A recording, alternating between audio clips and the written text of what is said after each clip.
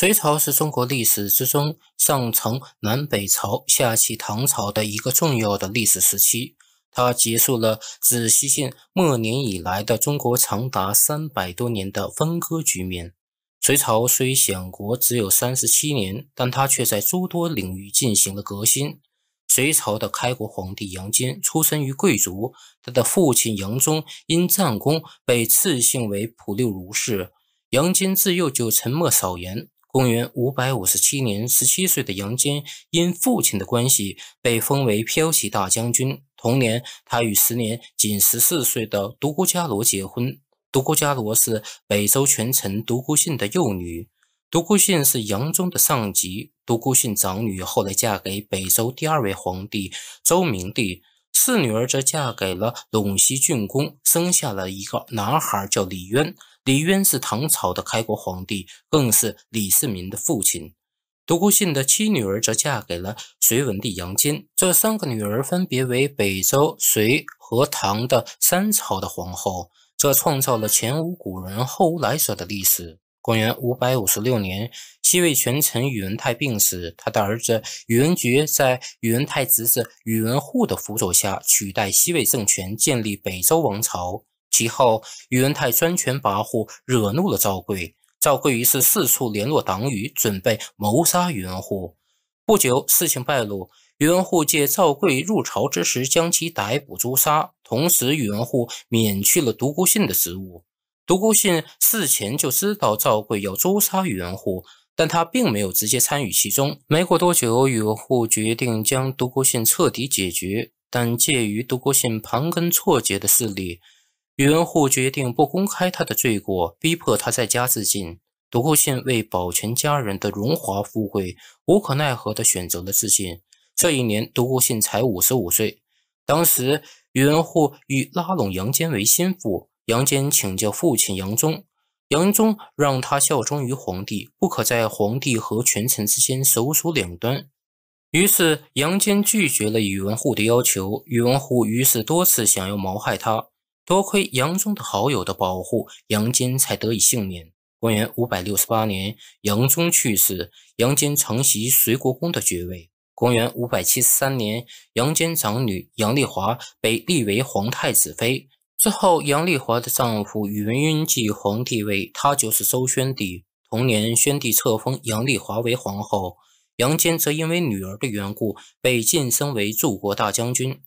宣帝仅在位一年，便将皇位传给了自己年仅七岁的儿子。宣帝自己则成为了太上皇。其后，宣帝一心沉迷于女色，他一口气立了五位皇后。杨丽华因为性格柔顺，不嫉妒，所以后宫的人都喜欢并尊敬她。宣帝后来昏庸残暴更加严重，他曾经无故地指责杨丽华，想要强加给她罪名。杨丽华并没有服软的表示，所以宣帝十分愤怒，于是赐杨丽华死罪。杨丽华的母亲独孤伽罗闻讯后，急忙进宫为杨丽华求情。独孤伽罗叩头流血，杨丽华才免于一死。后来，杨坚的地位和威望日益做大，周宣帝十分忌惮。一次，周宣帝对杨丽华说：“一定要将你们家灭族。”他之后召杨坚入宫。宣帝又叮嘱左右侍卫说：“杨坚的脸色稍有变化，就杀了他。”不料杨坚到了宫内，神情自若。之后，杨坚通过内史大夫郑义向宣帝请求调离京城，这正合宣帝的意图。宣帝当即任命杨坚为亳州总管。杨坚将要赴任时，杨坚的朋友黄晃劝他就此起兵，建立帝王之业。杨坚握着朋友的手说：“时机还不成熟。”公元五百八十年，经郑义推荐，宣帝任命杨坚为扬州总管，以筹备伐陈国事宜。不久，宣帝病危，杨坚以突发足疾为由，留在京城观察时局变化。宣帝之后召刘访和大臣颜子羽入朝，希望他们能够照顾好自己年幼的儿子。刘访与杨坚私交甚密，他出宫后立即找到郑义，郑义是杨坚的老同学。二人之后又找到了杨坚，希望杨坚能够掌握辅政大权。杨坚并没有贸然的答应。杨坚刚开始还以为这是宣帝设下的圈套。刘访见杨坚无动于衷，刘访最后怒吼道：“你要干就干，不干我自己干。”杨坚这才放下戒备之心。宣帝去世后，刘访正义伪造圣旨，封杨坚为丞相。颜之义知道这不是皇帝的旨意，他拒绝听从。刘访等人逼迫颜之义跟着署名，颜之义厉声对刘访等人说：“祖上去世，少帝年幼。”朝廷大臣应该交由有才能的杰出宗族掌握。你们备受皇恩，本应该想着精忠报国，怎么能一下子将朝权交给别人？这是成语“精忠报国”的最早出处。刘芳等人知道他不屈从，于是替他署名，然后公布诏书。杨坚后来向颜之义索要玉玺，颜之义说：“这是天子的信物，自有主人。做宰相的凭什么要？”杨坚大怒。但因为颜之义在民众中声望很高，最后只把他贬到地方去做官了。当时大臣李德林听说刘访、郑义二人的人事安排，于是他连忙跑去见杨坚，建议杨坚掌握军权。周宣帝丧事结束，圣旨一下，连刘访、郑义都有些傻眼。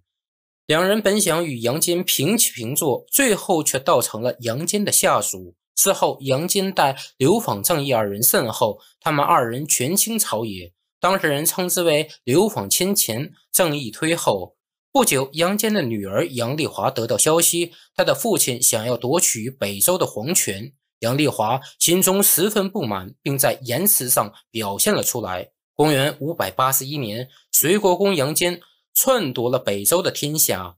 杨坚将国号改为隋，其后杨坚认为“隋”字含有走的意思，他认为该字不吉利，于是创立了“隋”这个新字作为国号。之后，隋文帝杨坚废除了杨丽华的皇太后的名号，把杨丽华降格为公主。杨丽华一直无法接受，对此更加愤恨。后来，隋文帝商量将年轻的杨丽华改嫁，杨丽华坚决不予同意，此事才作罢。杨丽华只和宣帝生下了一个女儿。后来，杨坚给杨丽华的女儿选女婿的时候，杨丽华凭借着自己的面子，终于让杨坚封了自己的女婿当上了高官。后来，杨丽华把自己的所有封地都传给了自己的女婿。后来，杨丽华的女婿被隋炀帝怀疑，他与杨丽华的女儿皆不幸殒命。杨坚专权后，北周宗室与地方实力派颇为不满，几日之间起义军就达十万。这次叛乱虽然参与者人数众多，但没有统一的指挥，又由于没有得到官僚阶层和民众的支持，所以很快就被平定了。杨坚继皇帝位后，即册封独孤伽罗为皇后。独孤皇后是中国历史上罕见对君主始终保持有影响力的后妃。每次隋文帝上朝，她必与之同辇而行。隋文帝对她几乎是言听计从，所以当时政治决策很难分得清哪些是隋文帝的主意，哪些是独孤皇后的主意。因此，宫中人称呼他们为二圣。隋文帝杨坚建立隋朝后，杨坚以长安城凋零日久为由，在城东南的龙首山创立了一座新城。因为隋文帝早年曾被封为大兴公，因此便以大兴命名此城。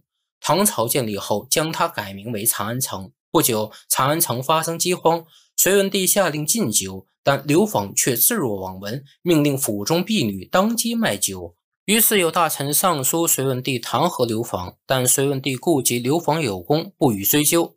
可刘访却对此闷闷不乐，与同受隋文帝猜忌的梁思彦等人结交。公元五百八十六年，刘访与梁思彦等人密谋反叛，计划以梁思彦取代隋文帝。但不久事情败露，隋文帝下令追查，逮捕了他们。最后，刘访等三人被杀，家产则被隋文帝分配给文武百官。跟刘访的情况相类似，郑义失宠后也抑郁不得志。他便悄悄叫来道士以祈求福分，结果被府中的婢奴告发。隋文帝对郑义的举动虽然很愤怒，但鉴于他昔日的大功劳，将其贬斥出京。不久，又将他贬为庶民。之后，杨坚下诏让郑义参加撰写法律，又授予郑义刺史的官职。郑义趁机请求回京治病，于是杨坚在礼泉宫召见了他。期间，杨坚恢复了他的爵位。郑义因此向杨坚敬酒。杨坚于是让李德林立即起草诏书。宰相高炯开玩笑对杨坚说：“笔干了。”郑义回答说：“我初为刺史，拄着拐杖回来，没有得到一个钱，用什么给你润笔呢？”这就是“润笔”一词的来源。之后，杨坚重新启用了正义。公元五百八十七年，杨坚灭亡了西凉。隔年，他派三路大军讨伐陈国。公元五百九十年，岭南归降。至此，中华大地重新统一于中央政权之下。统一全国后，杨坚励精图治，开创了辉煌的开皇之治。他结束了西魏宇文泰的鲜卑化政策，恢复了汉姓。另外，他开启了科举制度之先河。科举制度顺应了历代庶族地主在政治上得到应有地位的要求，缓和了他们和朝廷的矛盾，使得他们忠心拥戴中央。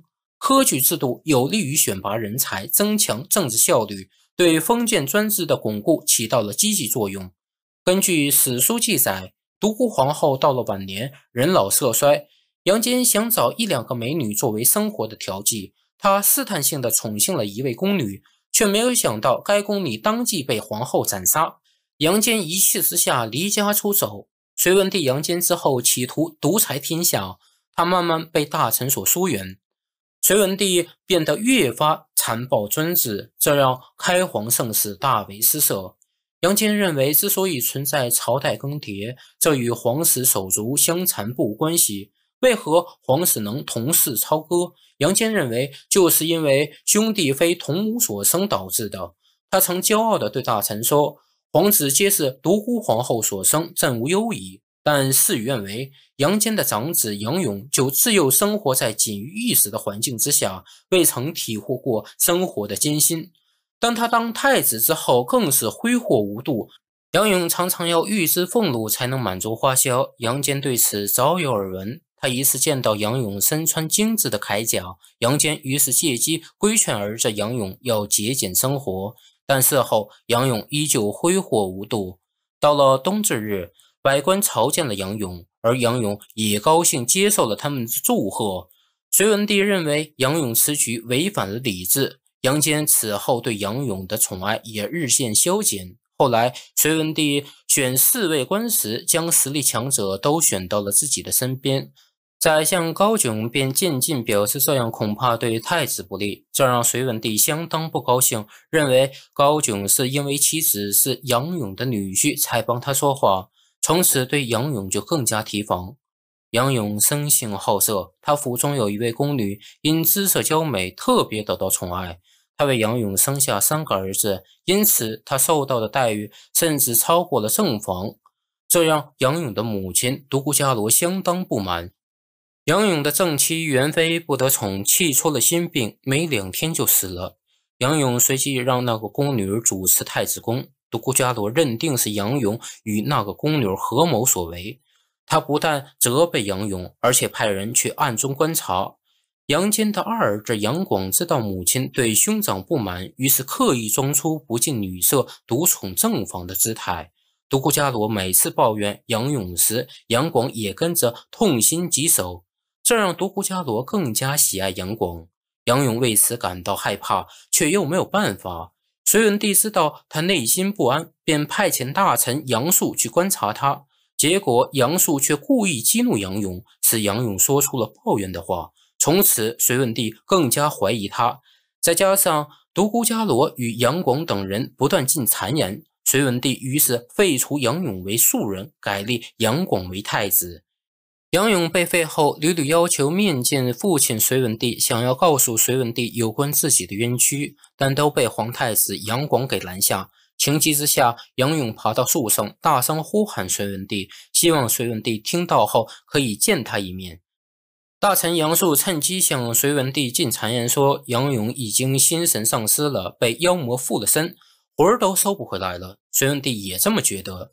因此，杨勇终究无法与隋文帝见面。公元六百零二年，独孤皇后离世，这对暮年的隋文帝的打击是毁灭性的。当时，皇太子杨广在宫内，他写信给杨素，请教如何处理隋文帝死后事宜。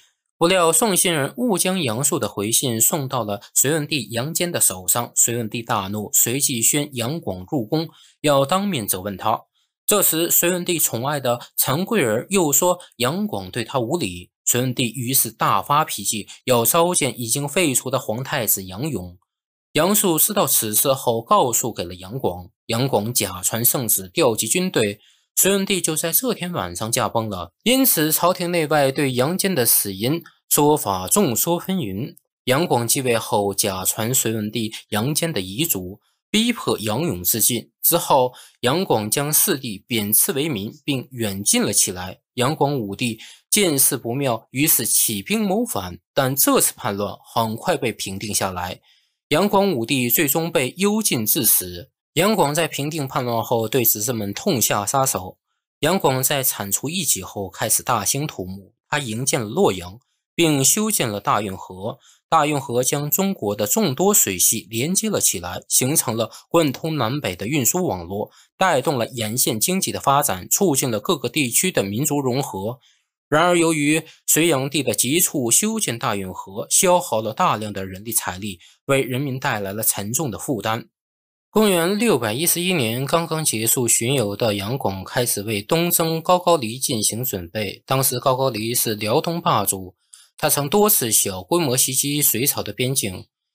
次年，杨广下令东征，此次东征因隋炀帝杨广的错误指挥，隋朝遭到惨败，损失严重。当时，山东、河南发生水灾，王伯因兵役繁重，率先起兵，不久起义被隋军镇压。公元六百一十三年，杨广开始筹划第二次东征，杨素的儿子杨玄感趁机举兵起义。达官子弟踊跃参加，全国各地纷纷响应。隋朝统治集团开始分裂，杨广被迫从辽东撤军。杨玄感兵败被杀后，杨广下令追查，杀了三万余人，其中三分之二的人都是被冤枉的。公元六百一十四年，杨广第三次发兵进攻高句丽，因隋末农民起义已经遍及全国，隋王朝岌岌可危。最后，杨广只好讲和收兵。当时以瓦岗军实力最强。瓦岗军的创建者是翟让，他原先是隋朝的官吏，因犯法而逃到了瓦岗寨。不久后，同郡的单雄信等人纷纷加入。公元六百一十六年，贵族出身的李密在参加杨宣感起义兵败后，投奔了瓦岗军。李密较有政治眼光，他建议翟让攻取荥阳。荥阳是中原重要的战略要地，向东是一片平原，向西则是虎牢关。虎牢关以西的巩县有隋朝的大粮仓，取得洛口仓不仅可以取得大量粮食，而且可以逼近东都洛阳。面临强大的瓦岗军，隋炀帝特派头号名将张须陀镇压瓦岗军。李密认为。张须陀有勇无谋，他建议翟让与张须陀正面迎战后假装败北。之后，李密率领精兵埋伏在荥阳以北的大海寺附近。张须陀本来就掉以轻心，加上突如其来的强兵，使他措手不及，战败被杀。这次失败，史书记载隋军昼夜哭嚎数日不止。瓦岗军攻取洛仓后，开仓济民，贫苦的农民大量参加起义军。杨广妄图遏制起义力量的发展，下令各地将民众迁往到城堡中居住，以图控制百姓的人身自由。